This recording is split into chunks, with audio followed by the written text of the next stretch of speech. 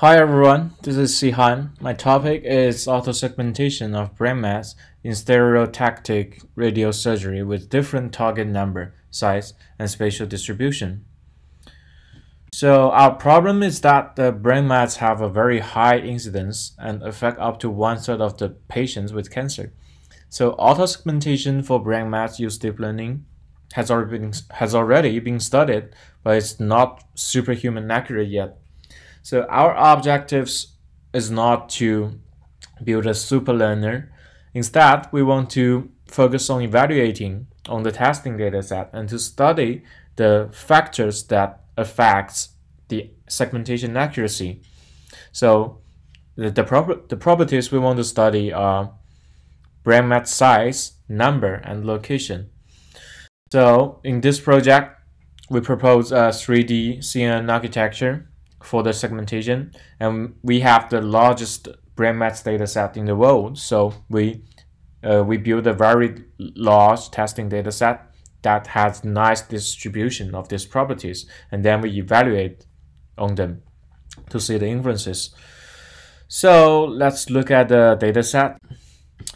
This is um, the whole data set. We have 686 patients and we have around 3000 brain mets in their brain.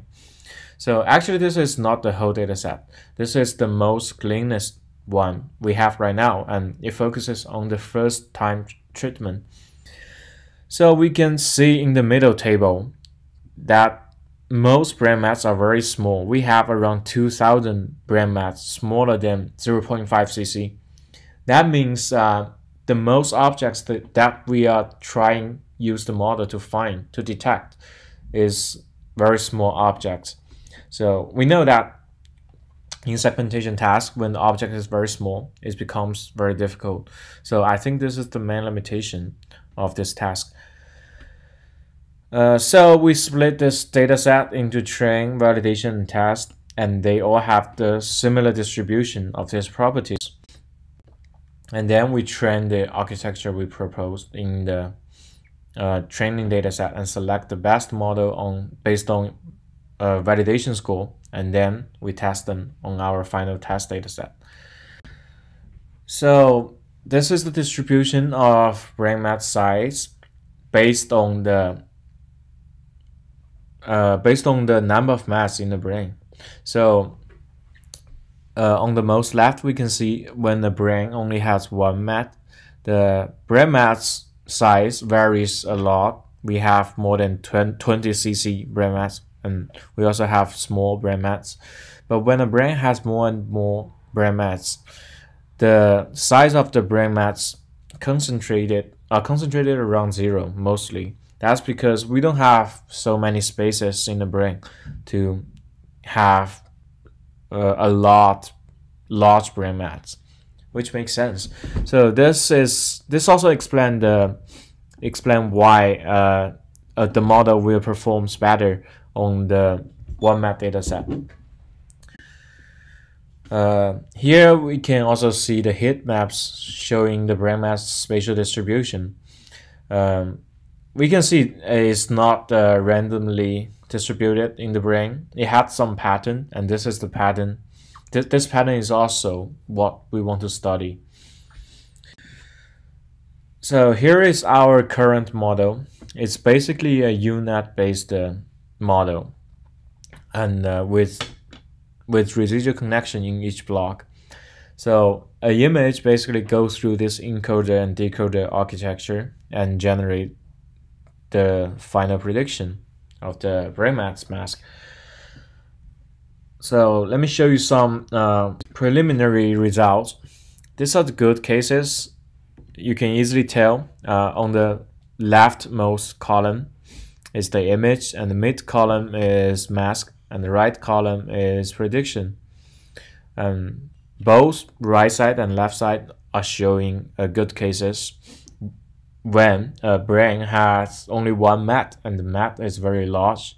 So in these cases, we can should a very high dice score around 94 so this is good but um, if we can do this in every brain then then then we, we don't need to write this paper.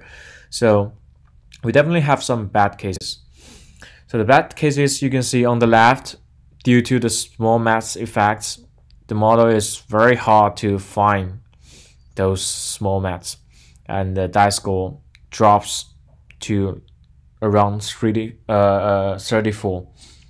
And on the right, we can also see that the brain mets are not that small, but uh, the string, the, the shape is very strange, and uh, the and they are mostly distributed on the edge of the brain. So this is another factor that influences our uh, accuracy.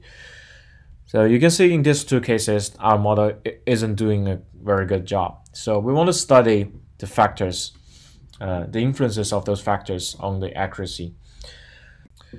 So we already studied the influences of brain map number on the accuracy. Um, um, as the reason we mentioned before, when the brain has more mets, the mets become small, and when it's small, it's harder to detect. So in this bar plot, we can easily see that when the brain has more mets, the dice score goes down. So, so for the next steps, we definitely want to evaluate different met size and location to study the effects of them on the accuracy. But this is different from what we did before. And that's the reason why we didn't uh, get a very good result yet. Because this is in these cases we need to separate each met from a brain rather than evaluate on the whole brain. So we need to co come up with a matrix that uh, can be easily compared with those dice score. So we need to think carefully about this strategy how to evaluate this uh, effects so this is definitely challenging right now, and we are working on this. So, so for the future, we definitely want a better brain mets segmentation model, and we hope this paper would inspire people to do so, uh, because we already started those properties that uh, are influencing, or we should say limiting the model's performance. We can find a better way to build a model and overcome these problems either by a better model which is particularly designed for this task or we can do data augmentation to deal with those uh, minimum cases. So this is pretty much the progress I've made in this project and we will definitely keep going on and thanks everyone.